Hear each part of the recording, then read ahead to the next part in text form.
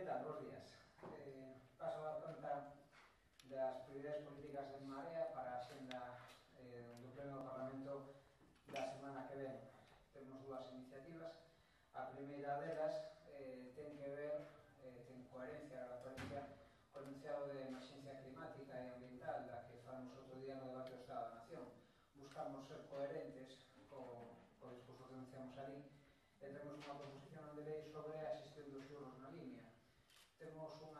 presión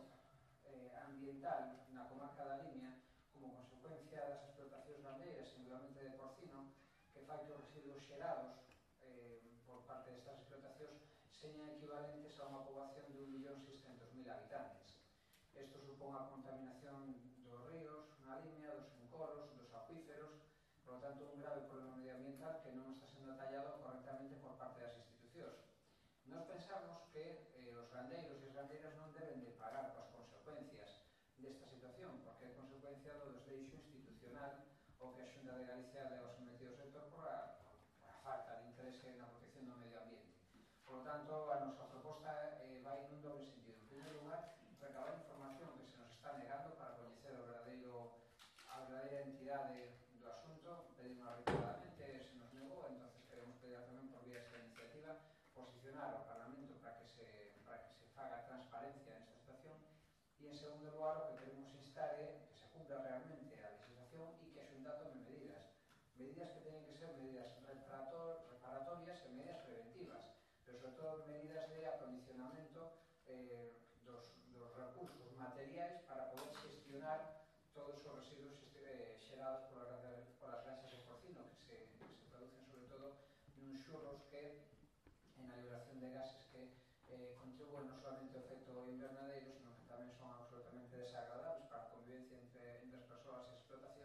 e ademais a contaminación das aguas que fai que deixen de ser potables como en nalgúns encoros nos que, nos que están afectados a propia comarca da línea. Por lo tanto, unha, un efecto de restauración ambiental porque aparte queremos que é necesario mandar unha mensaxe clara e que ten que ser compatible, é compatible e é desexable ademais eh, a compatibilidade entre as actividades gandeiras e a, e a protección da natureza. Por lo tanto, eh, esa é a primeira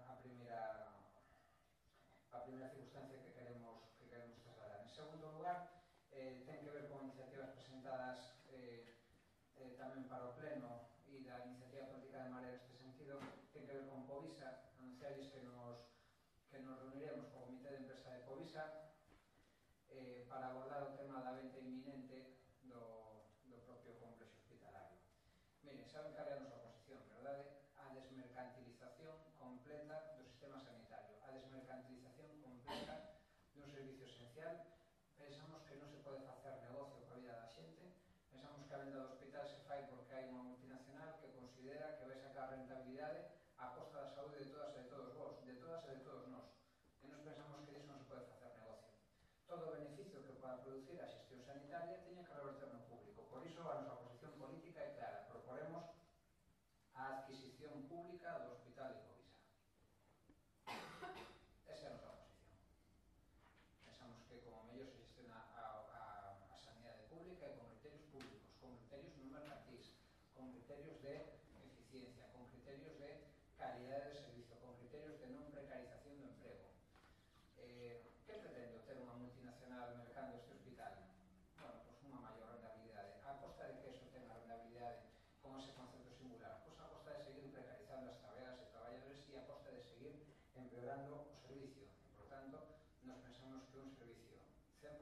público nun servicio de máis calidade asistencial e de maior calidade das persoas que traballan ali porque eh, é necesario cuidar de que nos cuida. Por tanto,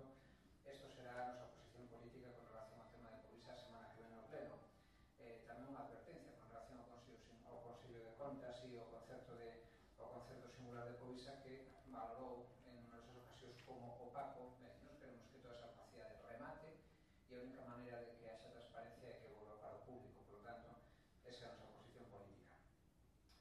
lugar, presentamos unha pregunta urxente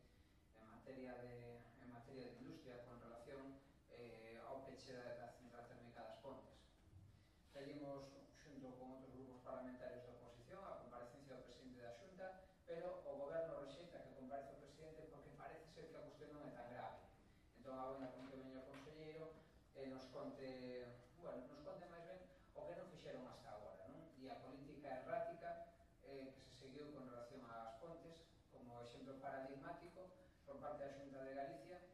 que lles interesaba unha política que consistise en beneficiar a empresas sin beneficiar aos traballadores, sin beneficiar a comarca, sin beneficiar o medio ambiente.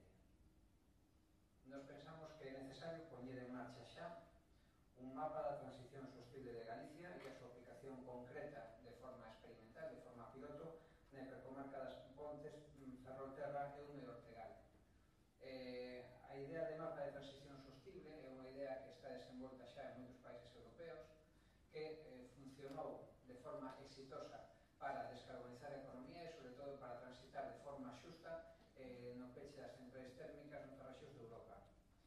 estuvo perdendo nos últimos 10 anos o tempo aquí en Galicia, se recibiron cantidades ingentes de fondos que non foron correctamente aplicadas, se aplicaron plans que en algúns casos, dos que en algúns casos houve que devolver os cargos porque non se presentaron proxectos, e por tanto agora é cando a xente se volta a nosa cabeza. O Partido Popular estivo defendendo durante todos estes anos primas a Endesa,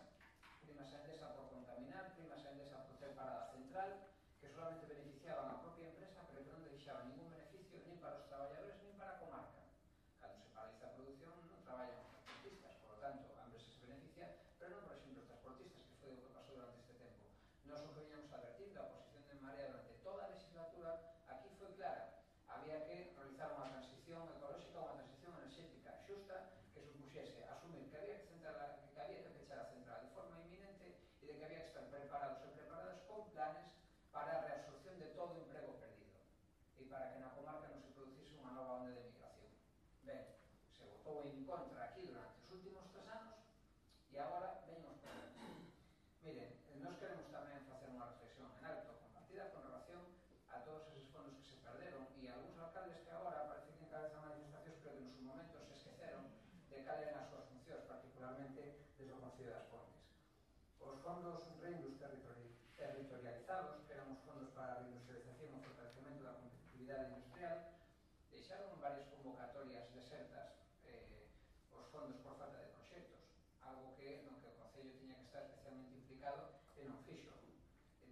entendemos como agora algúns lles ven un interese repentino cando non se interesaron durante todo este tempo para publicitar as axudas, para crear procesos participativos na comarca e para fomentar, en definitiva, eh, alternativas de carácter tecnolóxico, de carácter industrial, de carácter empresarial que pudesen absorber emprego e crear futuro na comarca das Fontes. Cando no 2018 se decide por parte da, por parte da Administración pechar con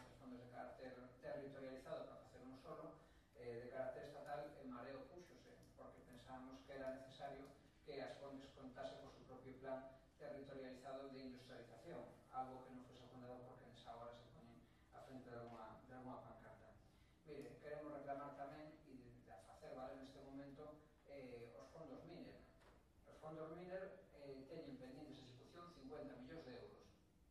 Supoñemos que virá Pedro Sánchez na precampaña, na campaña electoral este en algún momento. Xa da vez anterior lle preguntamos por os fondos minas non executados, pois agora volveremos a facelo. E a non nos gustaría que algún deses alcaldes que encabezan esas manifestacións do Partido Socialista se plantaran tamén para exigir a execución dos 50 millóns de euros. Porque eses 50 millóns de euros fan falta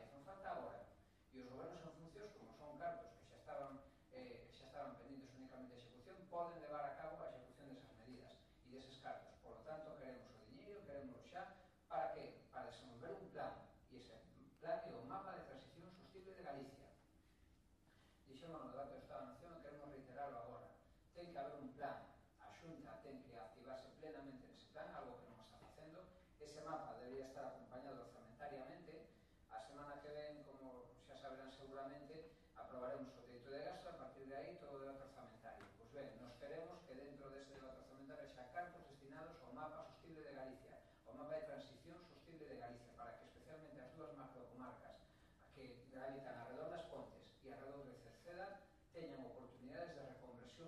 Social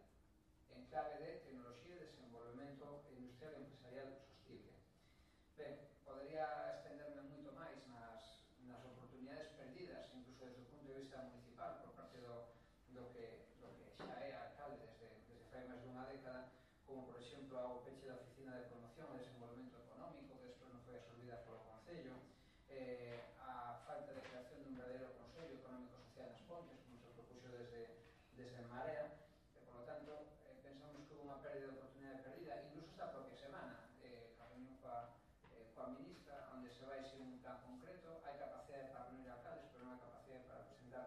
verdadero proxecto alternativo e, por lo tanto, mm, nos pensamos que é necesario tomarse moi en serio isto e, por lo tanto, nos estaremos do lado dos traballadores e do lado da comarca a hora de impulsar unha transición sostible para a comarca das Pontes. Entón, aí encontraránnos a todos, todos nos, non nos encontrarán, desde logo, eh, situados nunha, eh, nunha posición como a que algúns agora están